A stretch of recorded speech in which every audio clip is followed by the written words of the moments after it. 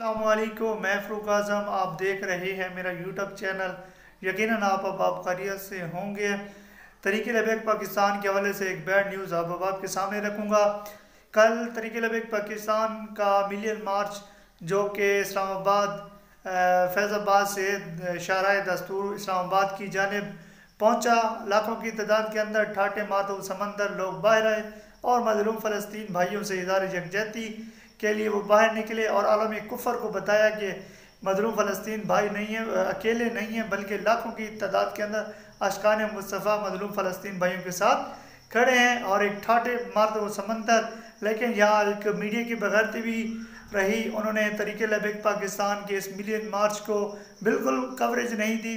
और साथ ही साथ जो बैड न्यूज़ है कल जो तरीके लबिक पाकिस्तान के तूफ़ान अक्सा मिलियन मार्च के अंदर फैसलाबाद से जाने वाली बस पीपी 110 से जो बसें गई थी मिलियन मार्च के अंदर और वापसी पे पीपी 110 फैसलाबाद से एक बस का एक्सीडेंट हो गया है। काफ़ी तादाद के अंदर कारकुनान ज़ख्मी हुए हैं और उनको एमरजेंसी अभी ब्लड की बहुत ज़्यादा ज़रूरत है, सख्त ज़रूरत है वो नेगेटिव जिस अब आप जो अतिया करना चाहते हैं अपने तरीकी भाइयों के लिए उनका मैं रबता नंबर आपको इस वीडियो के अंदर डिस्क्रिप्शन के अंदर दे दूँगा।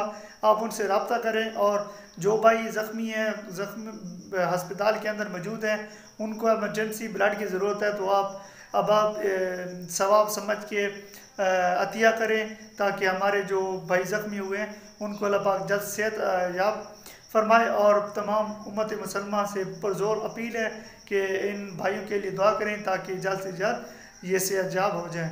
तो मज़ीद अगर आपने अभी तक मेरे चैनल को सब्सक्राइब नहीं किया तो चैनल को जल्दी जल्दी सब्सक्राइब कर लें, और बेलाइकन के बटन पर क्लिक कर दें ताकि हमारा आपस में रबता जुड़ा रहे। नेक्स्ट वीडियो में मिलते हैं, तब तक के लिए इजाज़त दीजिए।